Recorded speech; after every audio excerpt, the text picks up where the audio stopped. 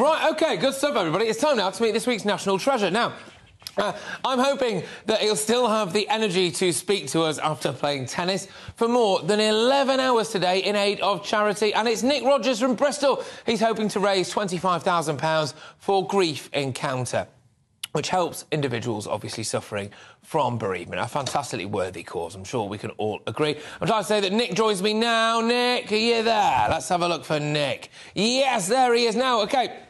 National Treasure gets a round of applause on the way in and the way out of time. Yes, well done. Woo! You are this week's National Treasure. Nick, talk to me about what you do. Oh, and your son's, is that your son? Sweet. Yeah, this is Jensen, my little boy. Oh, good stuff.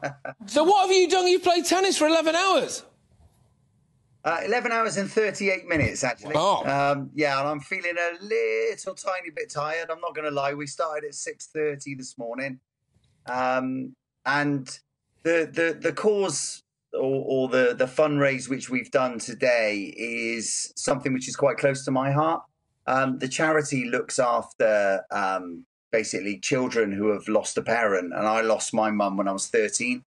And trust me, when in 1983, you know, other than a cassette player, you didn't really have a lot to to sort of. Um, uh, there wasn't much support. So when I met Chelsea and the charity, it was just an amazing thing they do for kids. Um, so I've been sort of planning this for two years with COVID. So basically, 41,000 children in the UK lose a parent every year.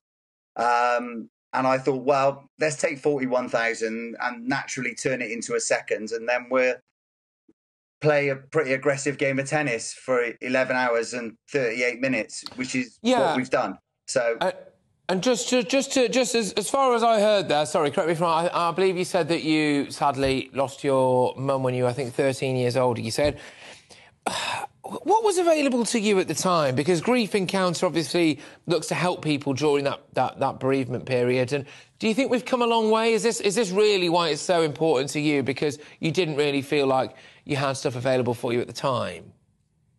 Yeah, no, 100%. Um, you know, it's only now that since I've started talking about this um, that I've, you know, I started to open up a couple of little doors in my mind, which um, I've never thought about before and never even talked about before. I shut that whole part of my life off.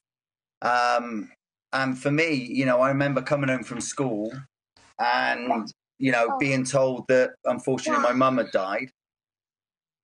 And then we, within a couple of days, we were back at school. You know, there was no support. Um, so it, it was quite a tough time. But, uh, you know, I shut that off and that that's sort of how I dealt with it. And I've, you know, I was lucky. I found tennis, you know, and that was what I started to do. And I moved in with, um, unfortunately, my dad wasn't around, so we moved in with our grandparents. And you know, within a couple of weeks, I sort of started playing tennis, and I sort of my whole yeah. teen life was uh, being able to just put something.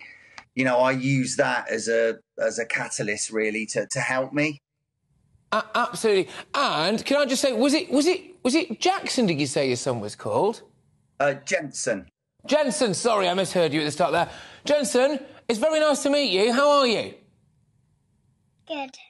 Good. Now, what do you think of your daddy? Okay, because he's been doing a lot of great stuff and he's helping people out. Are you very proud of your dad? He's nodding. He's nodding. You can't see. You can't hear him. There. Listen, would you? Would you, you? Would you like to play tennis with your dad as well? Is that what you want to do? Good. I'll tell what you what. What would you really like to do? Playing football. Oh, you're more of a footballer. There you go. Well, there's more money in it. So there you go. You've raised a smart one there. I'm telling you. Well done. Well done. Well, look, just just very quickly, very quickly, very quickly. How can people donate or do or just help out very quickly, mate? Yeah. So if you go on to Just Giving, we got a a, a, a page which is Nick and Paul's Tennis Marathon. so if anybody would like to drop a donation, that would be amazing. Uh, Good lad. You are this week's national treasure. Halfway to our target. So Oh, good stuff. You, you, are this week's national treasure. Well done, mate. You're an inspiration. Hey, there we go. Fantastic stuff. and good luck with the football career, Jensen, as well. I'm sure you'll make it. I'm sure you'll make it. Right now, it's that moment you've all been waiting for. Ladies and gentlemen, yes,